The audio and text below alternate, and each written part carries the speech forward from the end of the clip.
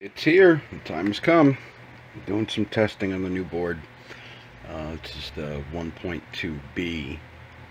Uh, this is a mostly SMD board. This is just a little ghetto simulator I got going on. It's a Nano um, simulating a 12 to 1 uh, crankshaft trigger.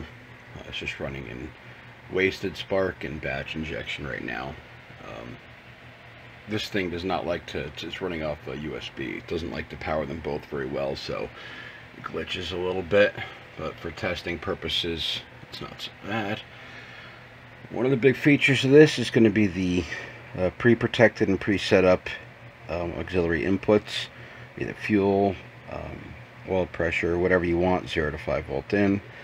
Uh, it's going to have several protected um, outputs that are actually go through ULN chip, uh, just like the Proto area used to on the 0.4. Uh, it's now run through that, but also the additional outputs for the ULN I utilized, so they're universal outputs on the new Proto area.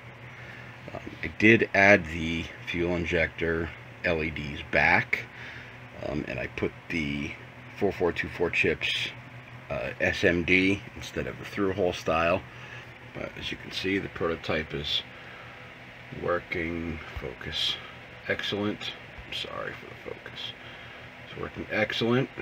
Um, I do have one of the potentiometers set up on more than one thing, so I'm turning one knob and you can see the latency a little bit. I'm swap this to the other pin so we can check the other input.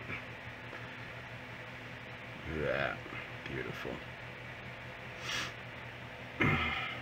I never recommend letting moving around pins like this uh, while you have power. It's just for testing on the bench for me. This is a prototype board. This is not a final board, so I do not recommend you do that.